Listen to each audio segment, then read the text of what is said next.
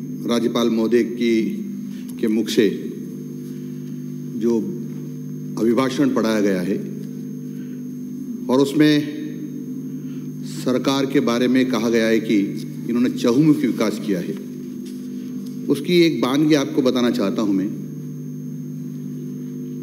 कि हम यदि बात करें कि किसान के हित में कितना काम किया है तो किसान को एक तरह से बर्बाद करके सरकार ने छोड़ दिया है। बिजली विभाग के, बिजली के बिल का डिमांड नोट डिमांड नोट जमा कराने के लिए और किसानों ने अपने जेवर गिरवे रखे,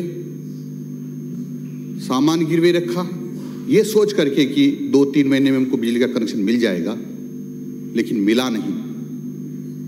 साल भर हो गया डिमांड नोट जमाए, जमा कराए हुए। आज भी लाखों लोग ऐसे हैं जो इधर उधर घूम रहे हैं कनेक्शन के लिए लेकिन उनको बिजली का कनेक्शन नहीं मिल रहा है। और जो फ़सलें उन्होंने इस, इसलिए बोदी थी कि इनको पानी दे पाऊँगा मैं वो फ़सलें उनकी नहीं हो पाई है और किसान बर्बाद हो गया है। जिन किसानों के खेतों में फ़सल लला रही है और उनको पान बिजली की आवश्यकता है उनको बिजली नहीं दी जा रही है। जबकि घोषणा की गई थी कि बिजली हम दिन में देंगे ताकि किसान को इस ठिठुरती सर्दी में रात को खेत में न जाना पड़े। यदि वो खेत में नहीं जाएगा तो बीमार नहीं होगा और मौत का ग्रास नहीं बनेगा। लेकिन माननीय सभापति महोदय हुआ इसके उपरीत है। रात में बिजली नहीं मिल रही है। रात में ही बिजली मिल रही है दिन में बिजली नहीं मिल रही है। दिन में बिजली नहीं, नहीं मिलने के कारण से रात भर किसान खेत में खड़ा रहता है टकटकी लगा के खड़ा खड़ा रहता है। वो देखता रहता है, कब बिजली आई, कब गई, कब आएगी। आती है दस मिनट के लिए, फिर पाँच मिनट की चली जाती है। और इसलिए किसान की फ़सलें भी इससे और काफ़ी खराब हो गई है।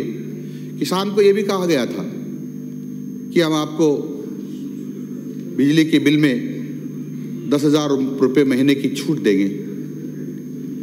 ये दस हज़ार रुपये, एक हज़ार रुपये महीने की छूट देंगे। दस हज़ार रुपये साल की छूट का माननीय वसुंधरा राजे जी जो मुख्यमंत्री थी तो उन्होंने भी घोषणा की थी और लगातार दे रही थी। लेकिन कांग्रेस की सरकार आने के बाद ढाई साल तक उसको बंद रखा। और ढाई साल तक बंद रखने के कारण से हर किसान की इस सरकार ने पच्चीस हज़ार रुपये की जेब काटी। मैं समझता हूँ, इतनी बड़ी संख्या में किसी सरकार ने प्रदेश के सारे किसानों की जेब काटी होगी। मैंने किसी सरकार को नहीं देखा है। यानी ये सरकार पच्चीस पच्चीस हज़ार रुपये साल की भी किसान की जेब जेब का, काट सकती है। ये मैंने पहली बार देखा।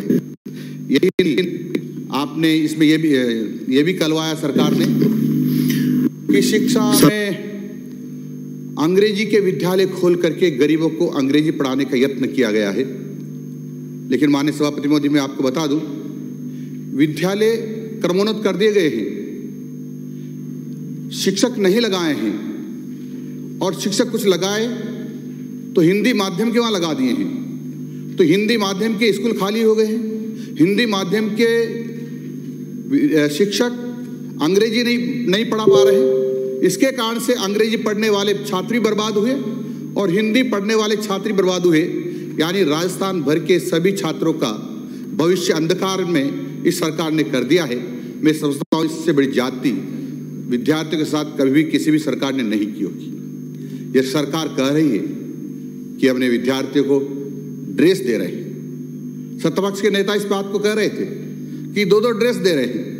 लेकिन को पता होना चाहिए कि 60 प्रतिशत पैसा भारत सरकार का है।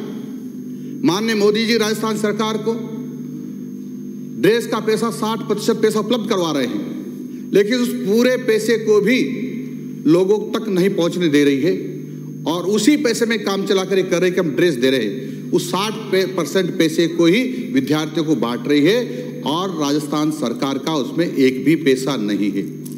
माननीय सभापति महोदय, सभी छात्रों को ड्रेस दी जा रही हो, मैं समझता हूँ ये करना बेमानी होगा।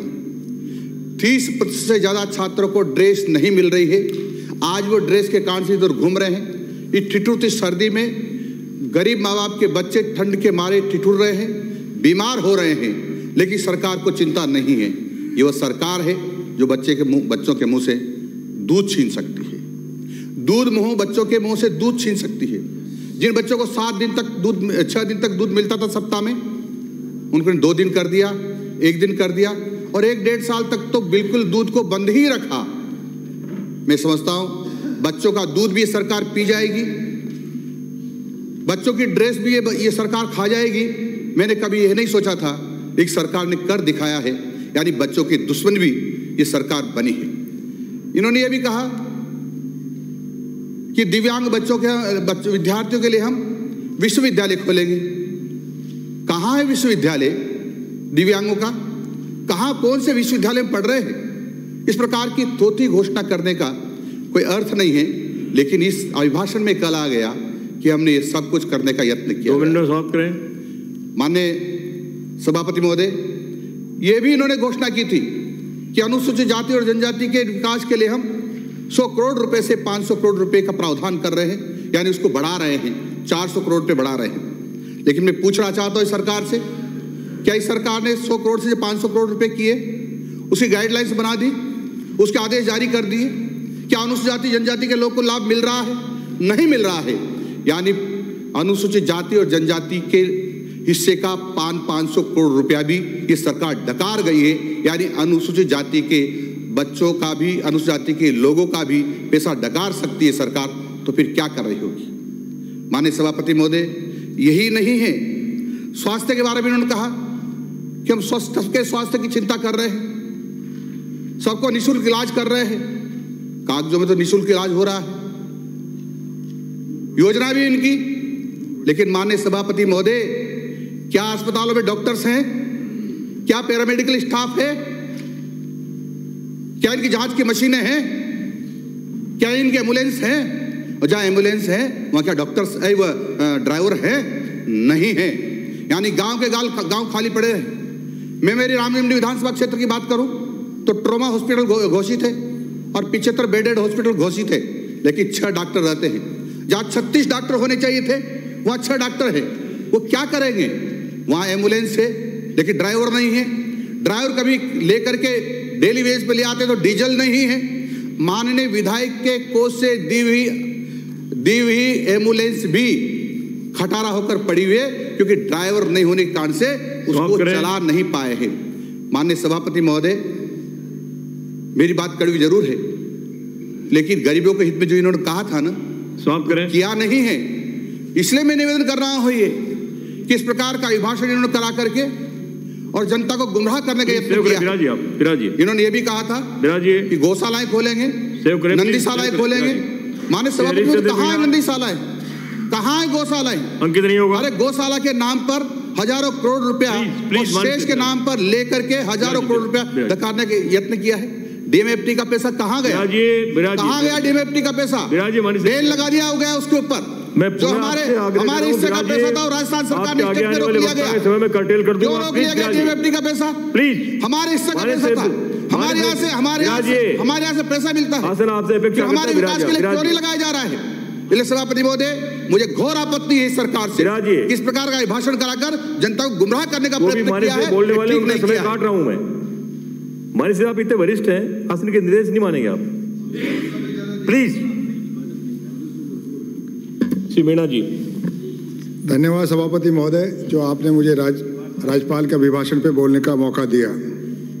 महोदय, मैं हमारी कल्याणकारी सरकार की कुछ नीतियों के बारे में, जिनका राज्यपाल महोदय ने ज़िक्र किया था, उनके समर्थन में बोलना चाहता हूँ। सबसे बड़ी योजना जिसके व्यापक रूप से हमारी जनता को फ़ायदा हुआ है